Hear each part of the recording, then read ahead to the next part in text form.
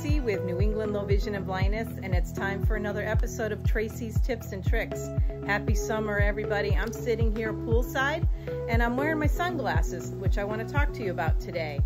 You know, everybody wears sunglasses, particularly in the summer, but we know we should wear them year round. But people with low vision should think about the color lens they have. I like to use a yellow, orange, or amber lens. Those three colors for me with low vision help with contrast and glare.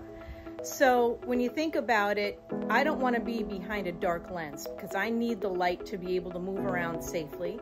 So a yellow, orange, and amber lens helps me with being able to see where I'm going, but still have good protection from the UVA and UVB rays.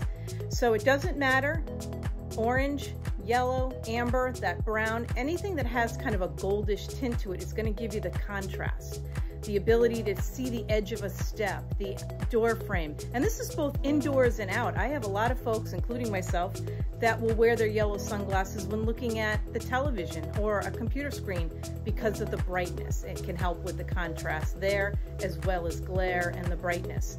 So sunglasses are a great thing year round, but for those of us with low vision, let's think about the color lens we're using because we wanna be safe. Also, wear your sunglasses because you want to be taking an active role in preserving the vision you still have. You also want to protect your eyes because if you're like me, I don't have any central vision, I might not see that branch or that ball coming my way. So, you know, sunglasses can also just help um, preserve and, and, you know, keep me from getting any kind of injury to my eye. So, you know, wear your sunglasses, everybody should, all year round.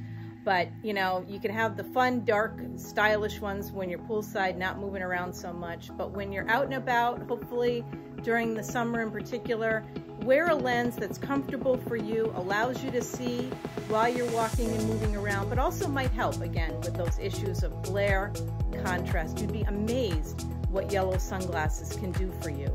You know, fishermen have been wearing them forever. Golfers, skiers use a yellow lens in their goggles, ski goggles.